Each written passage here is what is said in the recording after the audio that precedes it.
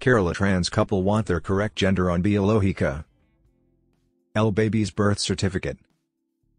A transgender couple in Kerala, who became biological parents, recently, have approached hospital authorities for mentioning their correct gender identity on baby's birth certificate.